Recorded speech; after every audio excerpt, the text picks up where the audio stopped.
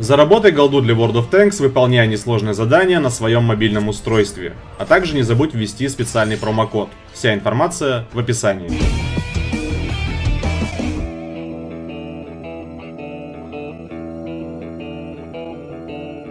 Всем привет, ребята, на связи Грим Оптимист. И в сегодняшнем видео у нас свежая подборка ответов разработчиков игры World of Tanks.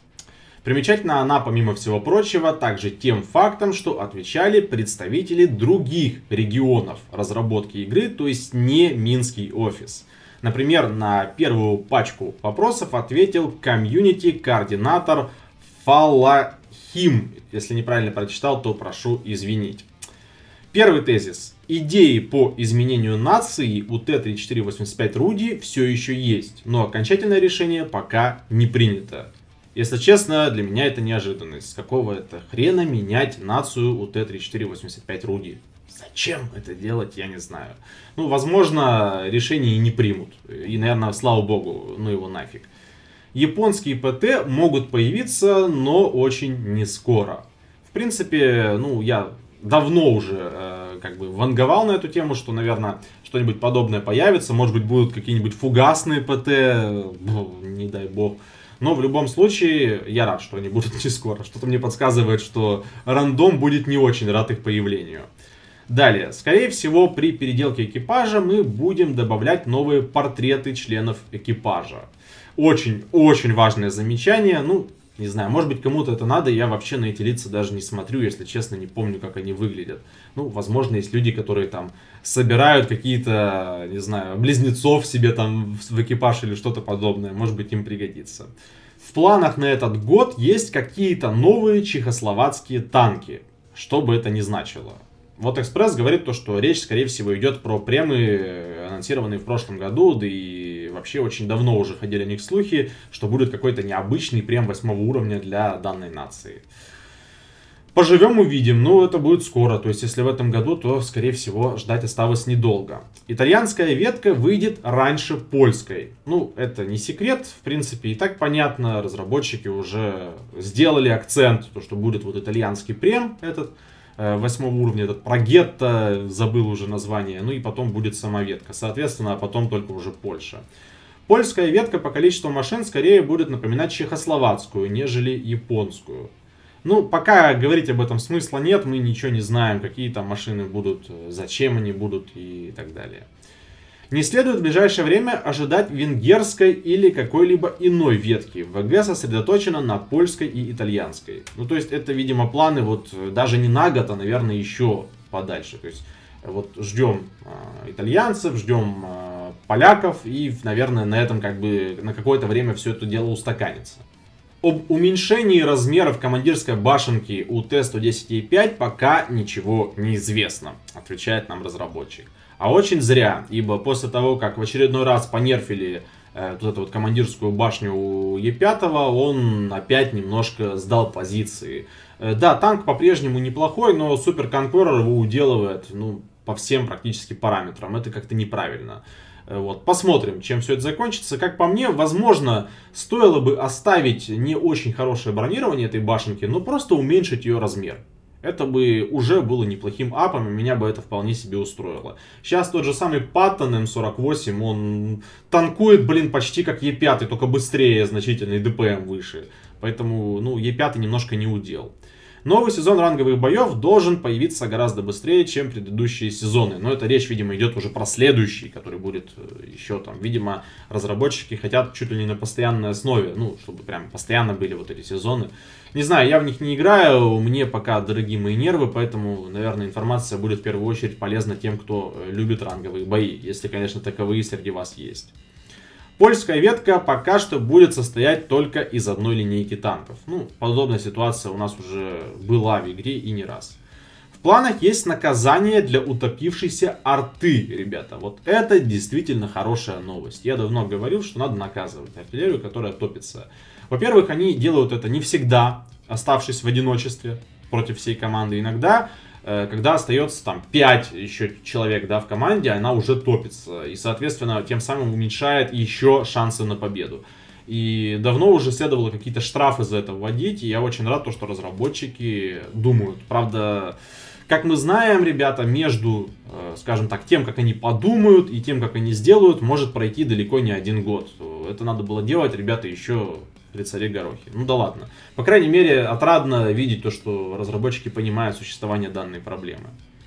Также разработчики сообщают, что есть большой шанс на появление очередного марафона с наградами на выбор. Марафоны, в принципе, все любят, э, потому что это всегда халява, это всегда какой-то ажиотаж, э, как бы новая мотивация такая, поиграть. И, в принципе, я думаю, что было бы неплохо сделать какой-нибудь марафон. Главное, не на Е25 только вот, и не на какой-нибудь э, подобный токсичный танк. Тогда все будет хорошо.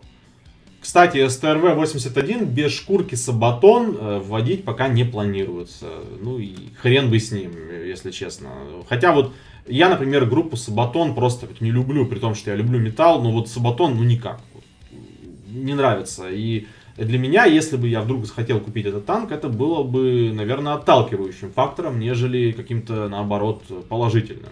Ну, таких, как я, идиотов не так уж и много, наверное, поэтому хрен бы с ним. Карта студянка, сообщают разработчики, ориентировочно должна появиться через какое-то время после 1.0. Возможно, вместе с выходом польского дерева принципе, новые карты это всегда хорошо, ибо старые уже немножко поднадоели. Правда, нас скоро ждут HD карты, к которым нам еще предстоит долго и упорно привыкать, но тем не менее новость все равно хорошая. В будущем наверняка появятся советские башенные ПТ, но пока что конкретных планов нет. Ну, уже давно ходили как бы вот эти вот э, скриншоты, да и не только скриншоты, этот танк э, как полился там на стримах, например, этот 268 вариант 5 с башней. И, в принципе, подобные машины, я думаю, что еще ввести можно. Другой вопрос, нужно ли? У нас и так э, сейчас перекос идет в сторону ПТ. Ну, как говорят нам разработчики, э, пока что это будет э, ну, не скоро, ибо данных раз нету, значит и говорить об этом пока еще рано. У польских танков, сообщают разработчики, будут точные немецкие пушки и при этом непробиваемые американские башни. Типа это будет фишка ветки. Ну, я бы тут по поводу точных немецких орудий, э, и да и башен американских, бы поспорил, конечно, но поживем увидим, пока говорит рано. И точно нам говорят, боны не появятся в премиумном магазине. Ну, возможно, так же точно, как никогда не будет ST10 и LT10, но тем не менее, в принципе, пока понятно, что разработчики, видимо, планов не строят на сбор доната вот таким способом. Также на вопросы европейских и американских игроков World of Tanks ответил креативный директор World of Tanks Андрей Белицкий. Давайте посмотрим, что тут интересного. Вопрос задали такой. В версии 1.0 вы планируете ввести новые эффекты типа ночи, дождя, снега, тумана, которые бы уменьшали обзор? Андрей отвечает, что технически это, конечно, возможно. Ну, еще бы это в консольных танках давно уже сделано. Э, вот, э, мы проводим внутренние эксперименты. На новых ПК это будет выглядеть отлично, но на средних или, или плохих э, не очень, или даже будет мешать геймплею.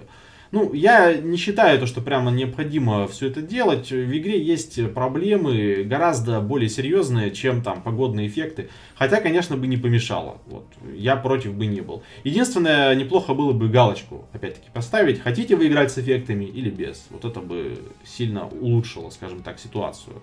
В чем причина разглаживания большинства карт? Так может показаться из-за игры света и тени, но карты сбалансированы, некоторые места действительно были сглаженные. Потому что мы посчитали, что они ставят э, танки с плохими углами вертикальной наводки в невыгодное положение. Тут, кстати, соглашусь, что у нас действительно много в игре сейчас танков с плохими УВНами, и на некоторых картах на них очень тяжко играть. Вот. Что же касается сглаживания карт, я бы не сказал, что прям так сильно все везде сгладили. Да, есть места отдельные, но в целом новые HD-карты, они тоже довольно такие, ну, перекопанные. То есть там есть где от башни поиграть, поэтому тут причины для вайна не вижу. Будут ли 4К текстуры доступны для игроков с мощными ПК? Андрей говорит, мы думаем над этим. Ну, по большому счету, бесполезная херня, как по мне. Кто, кто будет играть с этими 4К текстурами, елы-палы? Я что-то сильно сомневаюсь. Это надо очень-очень мощный комп будет, потому что Э, новая графика вот с HD-картами, она и так-то, даже вот современные ПК, как бы, ну не то чтобы на колени ставят, но так напрягает. Еще и 4К текстуры, ну, блин, не приоритетно реально. Херня, вот как любят разработчики говорить, не, это не приоритетная задача, вот это действительно не приоритетная задача. Можно ли ожидать апов техники в патче 1.0, особенно на восьмом уровне? Спрашивают у Андрея. Он говорит, не в 1.0, но да, ап техники будет и скоро вы увидите новые подробности. Будет ли новая премиумная арта? Нет, отвечает Андрей, ничего не слышал о подобном. Колесные машины, да, говорит, есть в планах, но это скорее всего на low-level е где-то будет. Почему 2.5.7 именно был выбран как замена для Т10? Потому что его стиль игры присущ всему дереву. Касаемо Т10, у нас есть годный продолжатель традиции, на котором играется очень похоже. Поживем увидим. Что с Чифтин МК-6? Не в этом году. Ветка Чифтина находится в очень продвинутой фазе на данный момент. Не в этом году, говорит, и в продвинутой фазе. Довольно странно.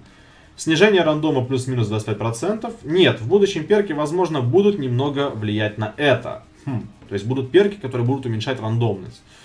Но это уже, ребят, не секрет, что разработчики не собираются убирать плюс-минус 25%. Уже миллион раз об этом говорили. Ранговые бои восьмого уровня. Да, но не скажу, когда точно. Возможно, запустим на отдельных регионах как тест, к примеру, на Америке. Это хорошая идея, потому что многие ругают ранговые бои на десятках за то, что там постоянно в минуса уходишь и без према невозможно играть. И это вполне закономерное такое замечание, э, ибо действительно накладно, там в каждый бой минус 50 косарей уходишь, потому что голдой приходится ставить. В общем, такое себе, а вот на восьмом уровне было бы гораздо интереснее. При удалении льготных премов будут ли некоторые танки восьмого уровня перемещены на уровень вниз и понерфлены? Может быть да, а может быть нет, говорит он. Понятно. А может пошел ты, как в этом, э, блин, забываю, из какого фильма-то это, там, где Марк Волберг сказал. Короче, на этом, ребята, все ответы э, разработчиков. В принципе, они не особо важные, но кое-что интересное у нас было э, озвучено. Поэтому будем ждать новостей. Сейчас, конечно, все ждут патч 1.0. Надо будет к нему адаптироваться, привыкать, смотреть, что как оно. И там, наверное, у нам хватит, скажем так, э, возможностей, чем себя занять. Поэтому давайте дождемся, а там дальше будет видно. Надеюсь, что видео было интересное. Не забывайте ставить большие пальцы вверх и подписываться на канал. Всем до скорого, всем пока.